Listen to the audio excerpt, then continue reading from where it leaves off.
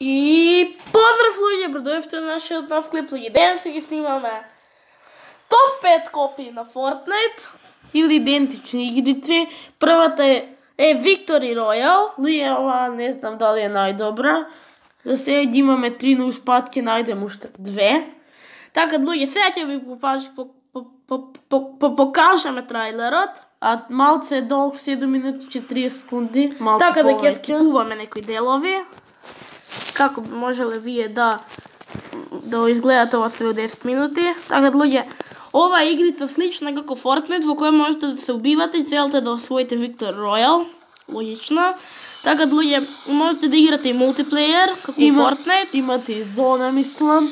А луѓе, еве ќе А понатаму, еве, кога што гледате, може да градите, има згради. и Сам... слични работи, само луѓе графиката е малку по а, лов. И луѓе нема коли, хеликоптери. Луѓе, еве, кога што гледате, може Можете и да одите. да накривени фигури и многу различни работи. Ама луѓе графиката, како што реков, не е баш најдобрата, ама луѓе интересно е за геймплей. И за послаби андроиди, айфони, ако е могуче. И луѓе, ете луѓе како што гледате тука е а, играта и луѓе се понатаму можете да гледате луѓе да има повеќе локации у играта. Негови и такви работи. Така ете луѓе можете да кршите работи со пикекс, имате и бомби, и пушки и слични работи како у Fortnite. Да. Еве луѓе на како изгледа отприлика геймплејот, ќе ви оставиме малку да гледате. А, да.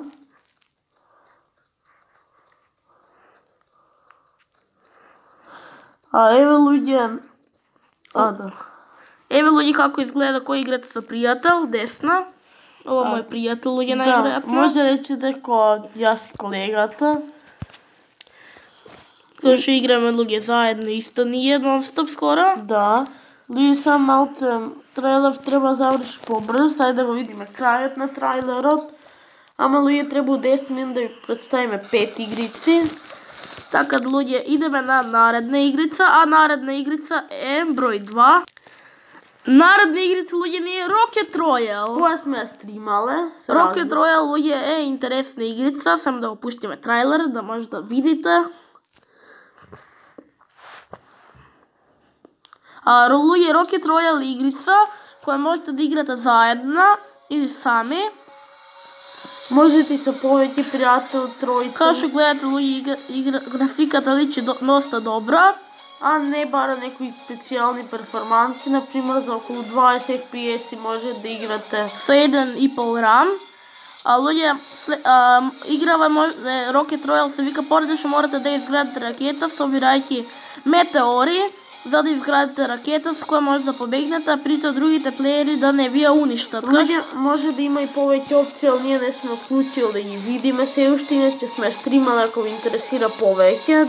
За едно до две може сме стримале. Као што гледате играта личи премногу добро. А, да. Така да идеме на следниот трајлер. кој би можеле вие да го видите. Добро, луѓе. Број 3. Вие 1-2-1 All Online Building and Shooting Simulator. Значи, луѓе, ова ви исто, луѓе, многу слично како Fortnite, само со помала мапа. Сега ќе ви ставам на full screen. Оваа луѓе игрица, мислам, не е ни скоро захтевна и оваа сме снимала, ако сака да видите на каналот, не е од многу А, давна. Да, луѓе, ова е една од тие игри, само луѓе малце графиката не е најдобра, ама ви е интересно за играње.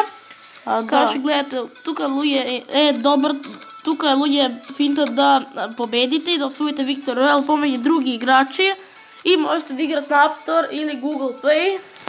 Луѓе, доста некад за некој добро што партиите се кратки, можете за 2-3 минути да завршите. Така да луѓе идеме на број а, Дури луѓе само за колега само за оваа игрица може да играте на пауза или нешто така. Така луѓе идеме на следната игрица број 4. Луѓе, следната број 4 е една од најдобрите за сега игрици. Ама е два да, запирка 1 или точка гигабајти. Значи, луѓе, тука ви треба малку позахтевен Android или iPhone. Се вика Creative Destruction и луѓе вака изгледа трајлерот. Сега ќе ви го пуштиме. Ова е пократок трейлер, така да можеме и цел да го одгледаме. Каминатиот. А, да. Гледайте луѓе која преубава графика има А, да. За Android, луѓе. Дури многу личи на Fortnite, се извинам што прекинав колега. Иначе луѓе видите каква преубава графика има, секои убави денсови и возила. Можете да, да градите и да пукате ме, ме, со другите луѓе. Имате повеќе број на скинови, Роботи. луѓе и слични работи. А, да. А пета игрица и Луѓе, последна. мислам дека ова не е достапна за iPhone. Као што викаат на крај, там можете да проверите. 4,1 оцената и скоро многу луѓе оцениле 5. Геймплејот луѓе само да ви го кажам. Е 4.3, графиката 4.2 и контролите 4.2. Така да луѓе, ова е една од многу добрите игри, ама и многу захтевните луѓе игри. не ги покажавме дру- другите на другите игри да се вратиме колега. А, не мора колега тоа. Добро.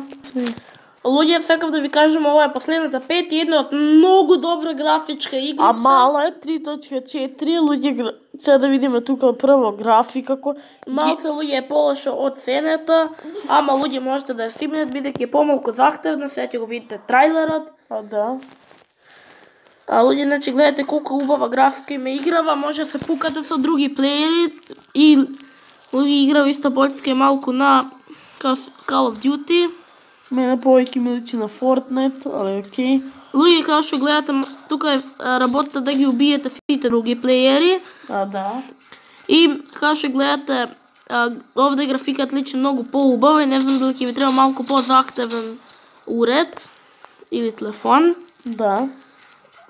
Како што гледате луѓе, а, играта личи доста убаво. А да, луѓе, да видиме како завршува трајлерот ме интересира. А луѓе кои што гледат овој што е играш играт или тој, а освои 12 место, кои што гледат луѓе, сеќе во оставим малку да гледате и вие геймплејот. А да.